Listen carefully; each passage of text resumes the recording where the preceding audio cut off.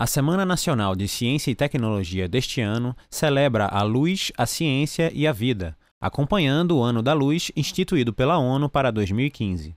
São mais de 28 mil atividades disponíveis em 664 municípios até domingo, dia 25 de outubro.